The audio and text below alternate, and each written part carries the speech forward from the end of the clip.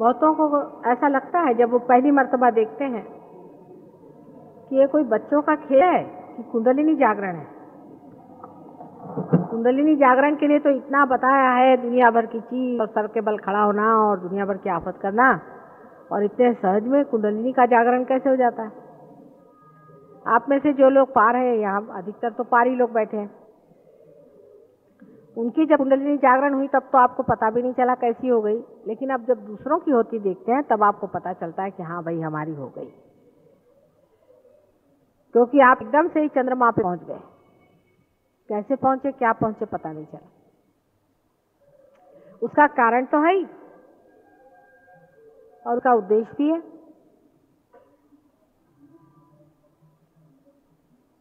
फलीभूत होने का समय जब आता है, तभी फल लगते हैं।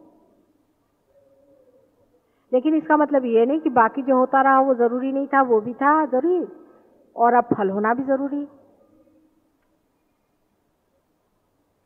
कोई कहते हैं कि साहब दस हज़ार वर्ष हो गए, तब से तो कोई पार नहीं हुआ, अभी क्यों हो रहा है? भाई दस हज़ार वर्ष पहले आप कोई चंद्रमा पे तो गए नहीं थे, अब क्यों जा रहे और अगर जा रहे तो उसमें शंका करने की क्या बात?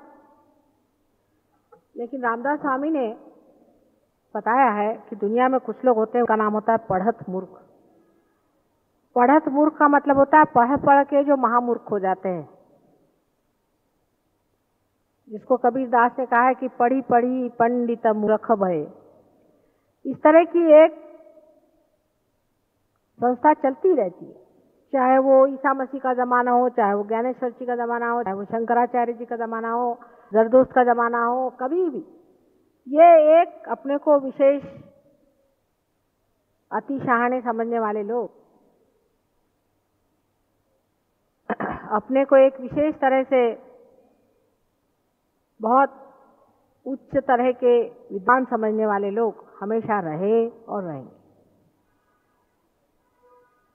वो हर समय इस तरह के अड़ंगे करते रहेंगे और जीवन के अमूल्य क्षण है, उसको इसी में बिताए उनका कोई इलाज नहीं। कलयुग में भी ऐसे बहुत हैं। ये किताबें जितनी रखी हैं, सब पढ़ डाली आप। अब उस आदमी का दिमाग तो खराब हो ही जाएगा क्योंकि उसने इतनी मेहनत की, इतनी किताबें खरीदी, वो पढ़ी है।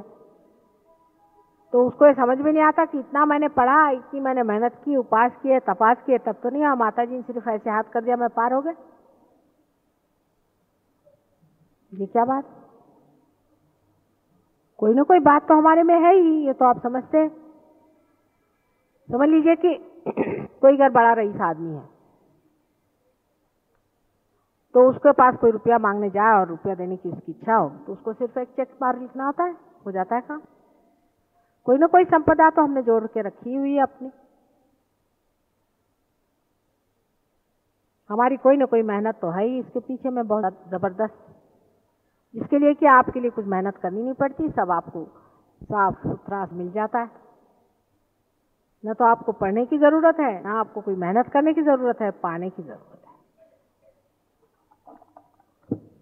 लेकिन एक बात ज़रूर कि सहज योग का आधार धर्म धर्म का मतलब जो बाह्य में हम जिसको हिंदू, मुसलमान आदि कहते हैं, वो नहीं। धर्म का मतलब है मनुष्य का धर्म, मानवता का धर्म। अब मानवता का धर्म भी बहुत से लोग उसका अर्थ लगाते हैं कि दूसरों की सेवा करना दूसरों को पैसा देना। बहुत से लोग ऐसे होते हैं कि चार लोगों को ठगेंगे और एक बड़ा भारी मंदिर बना देंगे। और कहेंगे कि साहब, हमने बहुत बड़ा दान धर्म कर दिया। दूसरे लोग ऐसे होते हैं कि अपने घर की बहू को तो सताएँगे, अपनी बहू को तो परेशान करेंगे और दुनिया भर में धर्म फैलाते फिरेंगे।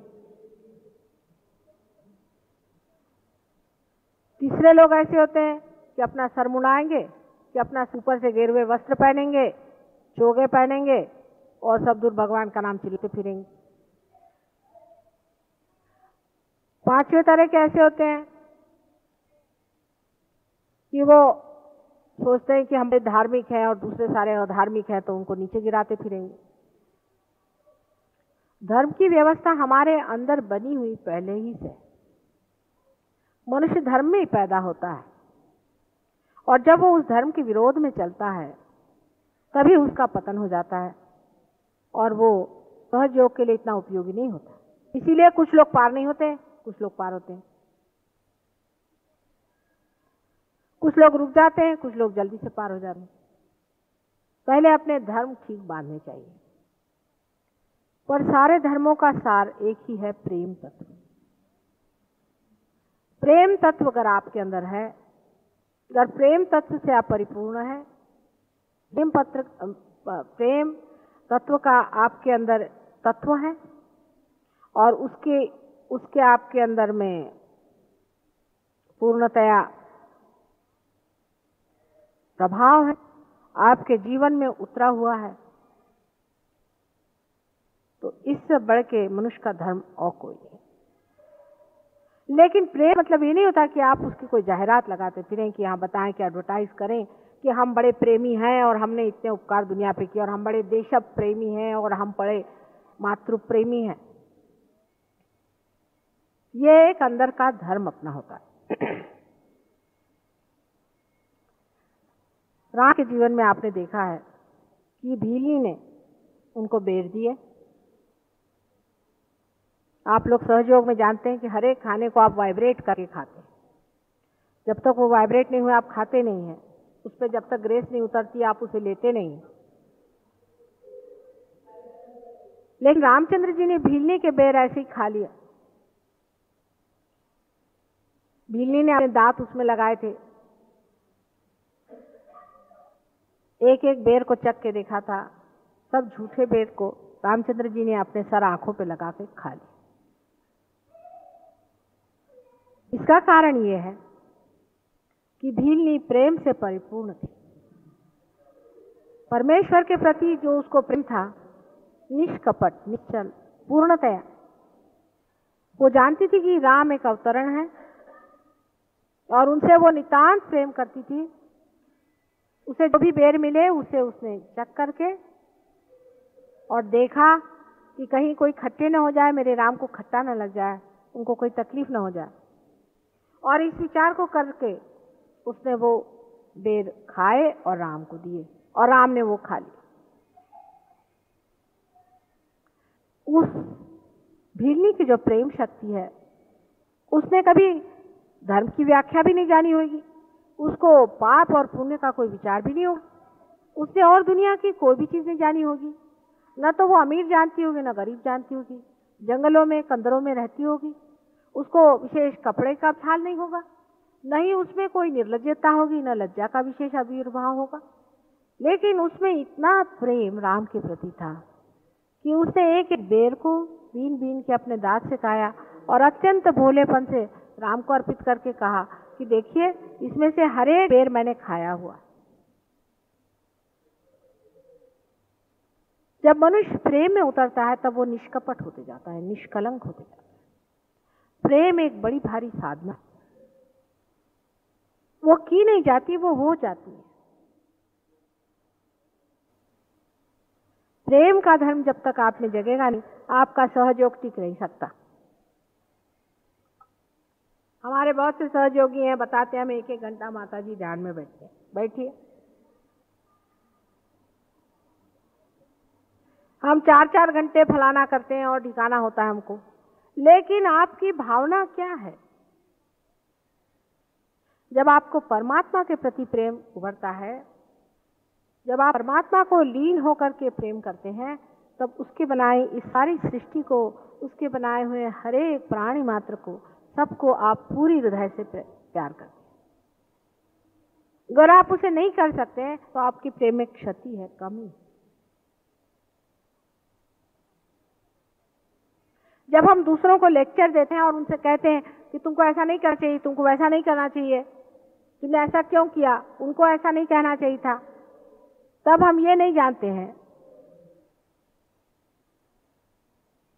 कि हमने इस आदमी से जो कहा है, वो क्या प्रेम में कहा है? अगर आप अतिशय प्रेम किसी से कोई काम कहें या बात कहें, उसे बुरा नहीं लगता लेकिन जब आप प्रेम में उतरते हैं तब सारे धर्मों का सार प्रेम है। परमेश्वर साक्षात प्रेम है। सहयोग में प्रेम ही संपूर्ण है। प्रेम के सिवाय और कुछ नहीं। उसमें त्याग अपने आप हो जाता है। उसको कोई भी चीज़ त्यागते हुए विचार ही नहीं आता दूसरा। क्योंकि प्रेम की शक्ति त्याग को करवा देती है। प्रेम में प्रेम ही पाना, प्रेम ही करना, यही लक्ष्य होता है। और जीवन में उसे कुछ नहीं चाहिए। लेकिन अगर आप में दोष हो और आप ऊपर दो तरह से प्रेम करते हैं आप दूसरों के लिए वाइब्रेशंस देते हैं, लेकिन उसमें आप में कुछ विचार है कि इस आदमी से कोई लाभ हो जाए जैसे कोई फ़ायदा उठा ले, या इसकी कोई ताड़ना कर दे। इसलिए अगर आप किसी को वाइब्रेशंस दे रहे हैं, या उसका फिर उपयोग कर लें तो आपके प्रेम में कमी रह जाएगी। किसी को आप वाइब्रेशन देते वक्त पाते हैं कि उसमें एक आध दोष है, उसके कोई चक्र कम है उसको भी अत्यंत प्रेम पूर्वक सहला करके, समझा करके उसका उद्दीपन करना चाहिए। सारा संसार आज द्वेष पे ही खड़ा हुआ। कोई ना कोई बहाना द्वेष करने का इंसान ढूंढ लेता कुछ ना कुछ तरीका उसको ये मालूम है कि जिस बड़े बड़े संघ तैयार हो जाए कि इसको द्वेष करो, उसको द्वेष करो, उसको द्वेष करो। बड़े बड़े राष्ट्र बड़ी बड़ी संस्थाएँ संसार में प्रेम के बूते पर खड़ी हुई दिखाई नहीं देती। अधिकतर उसके पाए में, उसके नींव में द्वेष की खाई होती है। इसीलिए वो संस्थाएँ धीरे धीरे खत्म हो जाती प्रेम की शक्ति कितनी आगाध है, यह अब आप जानते हैं। आपके हाथ से जो शक्ति बह रही है ये साक्षात प्रेम की शक्ति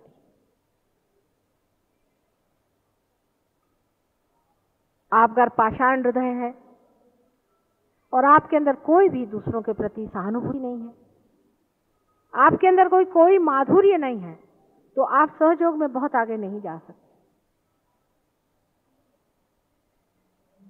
अपने बाल बच्चे अपने घर वाले अपने नौकर चाकर अपने अड़ोसी पड़ोसी इधर उधर के जितने भी मिलने वाले हैं, उन सबसे आपको प्रेम करना चाहिए। फिर वो चाहे पार हो, चाहे नहीं आज नहीं, कल सब पार हो सकते लेकिन आप अगर उनके साथ गिर गए तो आपका भी पतन हो गया और उनका भी उत्थान होने की कोई भी बात फिर करी नहीं जा सकती। आपके प्रेम को ही देख करके वो समझ सकते हैं सहयोग की कितनी विशेषता प्रेम की शक्ति को मनुष्य ने कभी भी आजमाया ही नहीं। अभी अभी शुरू हुआ है।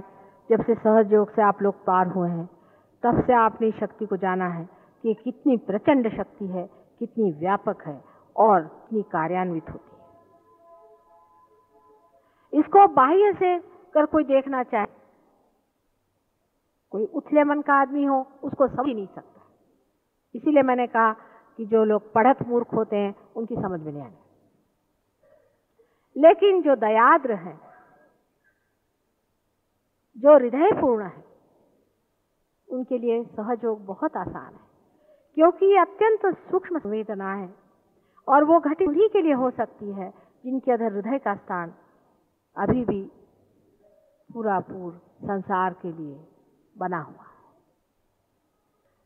हृदय में ही शिव जी का स्थान है और हृदय में ही परमेश्वर का प्रकाश आत्मा स्वरूप हमारे अंदर विराजता है। जिस आदमी का हृदय कठोर होगा। जो कठोरतापूर्ण दूसरों से व्यवहार करता होगा, उसका हृदय आत्मा दर्शन से वंचित रहेगा सबको चाहिए कि अपनी ओर दृष्टि करके देखें कि हम प्रेम धर्म में कितने उतरे उस पे आपको हर एक धर्म खरा है या नहीं पता चलेगा। जैसे एक छोटी सी बात है कि हमें मादकता नहीं करनी चाहिए। कोई मादक पदार्थ नहीं लेना चाहिए सहयोग में। आप जानते हैं कि मादक पदार्थ लेने वाले लोगों की नाभि चक्र पकड़ जाता है और वॉइड भी पकड़ जाती है और ऐसे लोग पार नहीं हो सकते। अब देखिए, जो लोग शराब पीते हैं, वो एक तो स्वयं से प्यार करते उनको मालूम है कि शराब या कोई भी मादक पदार्थ से हमें नुकसान होने वाला है। अपने घर वालों को नुकसान होता है। जो आदमी खुद शराब पीता है, उसके घर वाले भूखे थे। उसके बच्चों के सामने क्या मॉडल रहता है? उसके बच्चे देखते हैं सुबह से शाम तक मनुष्य शराब पी रहा उसका समाज में क्या व्यवहार होता है? वो सिवा अपने शराब के आगे दुनिया में कोई चीज़ को महत्व नहीं रखता। प्रेम का स्वरूप आप हरेक धर्म में देख सकते हैं। जिसको कि हम लोग दस धर्मों के नाम से जानते हैं। हर एक धर्म में अगर प्रेम का व्यवहार करें तो आप समझ जाएँगे कि प्रेम ऐसी चीज़ है कि जैसे सोने को रखना होता है, उसी तरह आपको अपना हर एक धर्म पर रखना पड़ेगा। आप बहुत लोग कहते हैं कि हम लोग खान पीन का बहुत विचार रखते हैं। तो वो उनका मतलब यह है कि हम सौ मरतबा हाथ धोते हैं फिर हम इतना ही खाना खाते हैं, उतना नहीं खाते हैं मरतबा हम उपवास करते हैं और दुनिया भर की सबको तकलीफ़ देते हैं। आपको अगर खाने की इतनी परेशानियाँ हैं तो आप कभी किसी के घर में, ये सबसे बड़ी अच्छी बात, जहाँ जो मिल जाए सो खा लेना चाहिए। लेकिन उसमें भी एक बात को जानना चाहिए कि जो भी दे रहा है आप खाने के लिए, वो आपको प्रेम से दे रहा है नहीं दे रहा? अगर वो आपको प्रेम से नहीं दे रहा है तो आपको वो खाने की ज़रूरत नहीं। आप उसको अस्वीकार्य कर सकते हैं या किसी तरह से उसे टाल सकते हैं कि नहीं, हमें खाना नहीं खाना।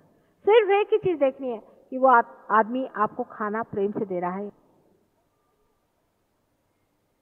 लेकिन वही बात अगर आप शराब पे लगाएँ कि कोई आदमी आपको प्रेम से शराब दे रहा है तो उसे पीना चाहिए या नहीं? तो बिल्कुल भी नहीं पीना चाहिए, क्योंकि जो आपको शराब पिला रहा है वो खुद भी शराबी है। माने वो अपने से प्रेम नहीं करता। और आपको भी गंदे काम सिखा रहा है जिससे भी किसी से प्रेम ना करे। आज अगर किसी आदमी के यहाँ आप खाना खाने जाए और जिसने बहुत ही प्रेम से आपको खाना खिलाया, उस प्रेम के वाइब्रेशन से आपके अंदर इच्छा होगी कि मैं भी किसी है को अपने हाथ से खाना बना के प्रेम से खिला जब आप प्रेम बांटते हैं तो प्रेम बढ़ता है और जब आप घृणा बांटते हैं तो घृणा बढ़ती हर एक सहयोगियों को यह सोचना चाहिए कि जब तक वो प्रेम के मार्ग में नहीं जब तक उसने प्रेम में पूरे तरह से अपने को समर्पण नहीं किया, तब तक उसका सहयोग लाभान्वित नहीं होगा। वाइब्रेशंस है सपा रहे काफ़ी वाइब्रेशंस आते हैं और सब लोग सोचते हैं कि हमारे अंदर से शक्ति बह रही। बहुत से लोगों के हाथ से अनेक लोग ठीक भी हुए अनेक लोगों के फ़ायदे भी हो गए, ये भी बात मानी। लेकिन सब बातें करते वक्त हम प्रेम को कहाँ रखते हैं वो देखते किसी भी बड़े अवरणों की बात करते वक्त हमें ख्याल होना चाहिए कि हर अवतरण में प्रेम के दर्शन अत्यंत सुंदर और मधुर हैं। कृष्ण के दर्शन में भी आप देखिए कि विदुर के घर का खा, खाना प्रे, बड़े प्रेम से कृष्ण ने खाया था। कहते हैं, दुर्योधन का मेवा त्याजो। विदुर घर साग खाई, सबसे ऊँची प्रेम सगाई। क्राइस्ट के जन्म में देखिए आप कि एक प्रोस्टिट्यूट को लोग पत्थर से मार रहे थे। और तब क्राइस्ट जैसा आदमी, जिसे कि प्रोस्टिट्यूट से कोई मतलब नहीं, वो जाकर के वहाँ खड़े हो गए। और उन्होंने ये कहा कि जिसने कभी भी पाप नहीं किया हो, वो इस औरत पे पत्थर मार सकता है, पर पहला पत्थर मुझे मारे। और सबके हाथ रुक गए। ये सभी कार्य प्रेम में होता है। प्रेम पैसे से नहीं आता है। प्रेम दिखावे से नहीं आता प्रेम बोलने से नहीं आता है। प्रेम अंदर ही अंदर जानने से होता है कि परमेश्वर की हमारे ऊपर कितनी अनंत कृपा है। विशेषकर सहयोगियों को सोचना चाहिए। जैसे आपने अभी प्रश्न पूछा कि इसी जन्म में क्यों हो गया? इसी जन्म में क्यों हमने पाया? क्योंकि डर आए हुआ। उनकी करुणा, उनका प्रेम, वो आपके अंदर ढर आया है। और जितना आपके अंदर ये सूक्ष्म, अति सूक्ष्म रास्ता बनाता आएगा, वैसे ही इस प्रेम की संवेदना भी गहरी होती जाएगी। लेकिन बार बार यही बात है कि ये उथले लोगों का काम नहीं है छोटी तबीयत लोगों का काम नहीं है। जो लोग रात दिन इसको, उसको क्रिटिसाइज करते रहते हैं, जिनका काम ही ये है कि दूसरों को भला बुरा कहना, उनका ये काम है लेकिन जिन्होंने प्रेम किया है संसार में, जिन्होंने हर जगह इसकी पदवी पाई कि ये बड़ा प्रेम पूर्ण आदमी आप भी अपने जीवन में देखिए कि जब भी कभी आपको याद आती है तो उसी आदमी को आप याद करते हैं जिसने नितांत प्रेम पूर्वक आपसे व्यवहार किया। आपको कोई कितना भी रुपया दे दे, उसकी याद नहीं आती। आपसे कोई कितना भी कोई बड़ा मान दे दे, कोई आपकी बड़ी उच्च जगह पहुँचा दे। आपको उसी की उस वक्त याद आती है जिसने आपको अत्यंत प्रेम किया। सारे धर्म को, अपने अंदर बसे हुए सारे ही धर्म को हमें प्रेम से जानना चाहिए। धर्म की जो व्याख्याएँ हमारे यहाँ बनाई गई वो इतनी संकुचित हैं कि उसके प्रेम के जगह घृणा ही होती।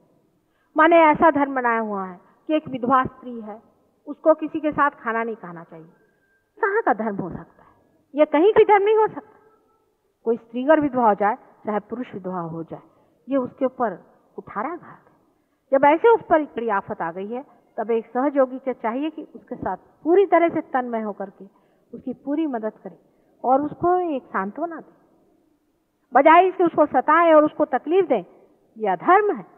किसी भी धर्म के नाम पे अगर अधर्म किया जाए तो वो धर्म नहीं हो सकता। इस प्रकार अनेक किसी को शूद्र बना करके, किसी को खराब बता करके और उसे घृणा करने को जो धर्म सिखाता, वो धर्म नहीं। हमारे सहयोग में ऐसे धर्म की कोई भी, किसी प्रकार की भी व्यवस्था नहीं होती। जो असली धर्म है, वो वही धर्म है जिससे प्रेम उत्पन्न होता है। दूसरे तरह की भी अनेक धर्म है। जैसे हम अब मिठाई खाएँगे आज आज हम ये उपास करेंगे, आज हम ये फलाना करेंगे। जिससे हम दूसरों को तकलीफ़ दे सकते हैं। ऐसे धर्म कभी भी धर्म नहीं हो तीसरे तरह से ये कि चाहे घर में पैसा हो ना हो, हम मंदिरों में जाएँगे, हम वहाँ जाकर पैसा लुटाएँगे, हम जाकर के पंडितों को पैसा देंगे और इन लुटोरों को हम पैसा लुटाएँगे। ये भी कोई धर्म नहीं हो सकता। अपने घर के बाल बच्चों को जिनको खाने को नहीं है। अपने बच्चों की तरफ़ जब हमारा ध्यान नहीं है हम अपने घर वालों को जब देख नहीं सकते तो इस तरह का व्यर्थ समय बर्बाद करने वाले को भी धर्म नहीं कहना चाहिए।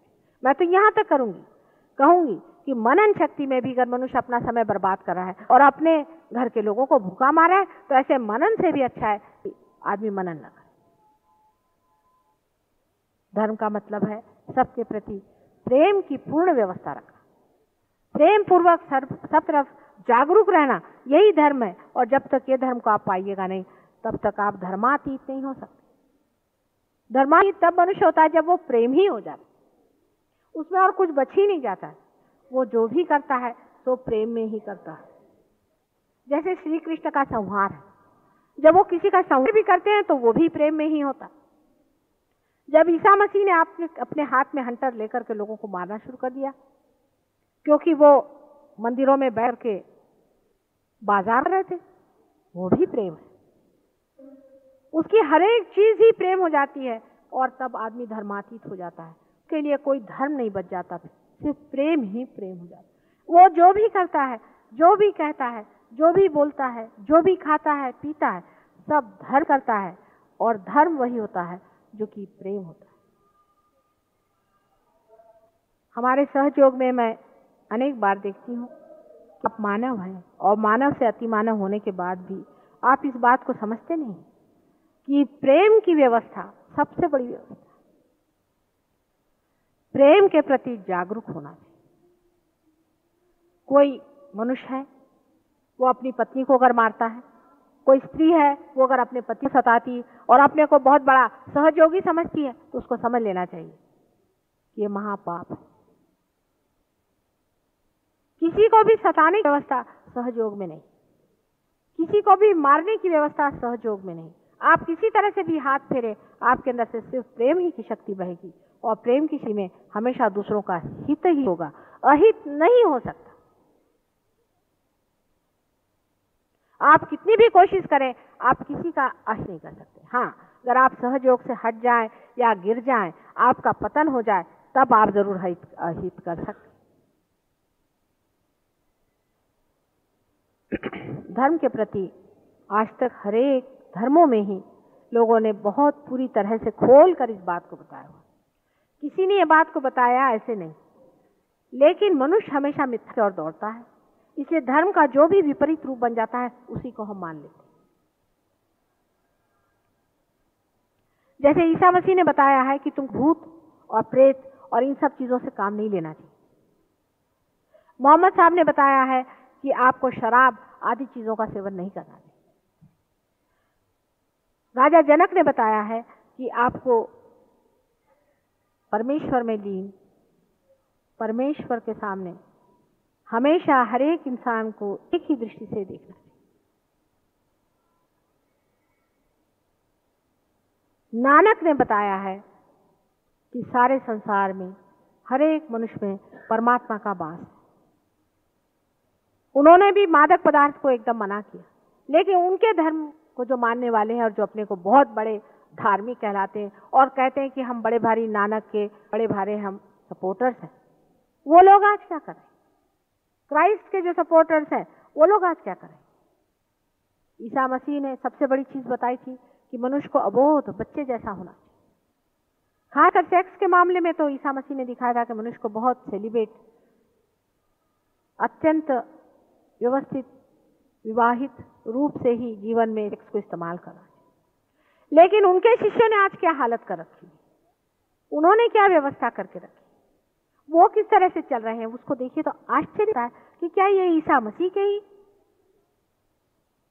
ईसाई है? या या कोई और ईसा मसीह, कोई राक्षस पैदा हुआ था, उसके ये लोग ईसाई बने घूम रहे हिंदू धर्म में एक बहुत बड़ी व्याख्या, बहुत बड़ी बात कही गई है कि सबके अंदर एक ही आत्मा का वास। है और हम अनेक बार जन्म संसार में लेते हैं, अनेक बार इसको खोजते हैं, इसलिए एक ही जन्म में सब चीज़ को खोज डालो। जब हम अनेक बार जन्म लेते हैं, तब हम कैसे कह सकते हैं कि कोई मुसलमान है, कोई हिंदू है। हम ऐसे कैसे कह सकते हैं कि कोई निम्न है, कोई उच्च अनेक बार मैं आपको ये समझाती हूँ, और आप इस बात को पूरी तरह से समझ लें कि प्रेम में जब तक आप पूरी तरह से लीन नहीं होंगे सहयोगी संसार में बैठने वाला नहीं। जब आप प्रेम में हो जाएँगे, एक प्रेम का फूल अगर खिल जाए तो सारे संसार में उसकी खुशबू आने आप भी अपने ज़िंदगी में सोचें कि एक इंसान जिसको आपने पाया था कभी, उसने कितना आपको प्रेम दिया था। ऐसा एक भी आदमी कहीं हो तो आपको आश्चर्य होगा कि उसके पीछे हज़ारों लोग घूमते हैं और उसे प्रेम की याचना करते उसको मांगते। लेकिन वो लोग, जो कि झूठ बन करके, प्रेम का दम्भ भर के, और लोगों को लूटते हैं, उनको खसोटते हैं, उनको झूठ बोलते हैं, ऐसे लोगों को मनुष्य बड़े जल छोड़ देता। प्रेम ऐसी चीज़ है जो हृदय तक पहुँचती है, और उसकी खिंचाव सबसे ज़्यादा। और यही परमात्मा का सबसे बड़ा धर्म है। परमेश, परमेश्वर का कोई सा धर्म हो, या उसका अगर कोई तत्व है तो वो सिर्फ़ प्रेम। आप अपने अपने प्रेम तत्व पे थोड़ा सा मनन करें और जो लोग नए आए हैं, उनको हम रियलाइजेशन देंगे अभी और कोशिश करेंगे कि वो लोग पार हो जाए। सब लोग अपने प्रेम तत्व की ओर देखें कि हमने कहाँ तक प्रेम किया हुआ है। हम संसार में कितने लोग से प्रेम